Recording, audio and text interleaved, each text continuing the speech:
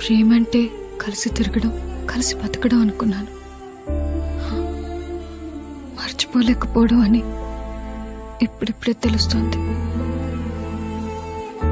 పదే పదే తనే గుర్తుకొస్తుంటే ఊపిరి పీల్చుకోవడానికి కూడా ఇబ్బందిగా ఉంది నాన్న.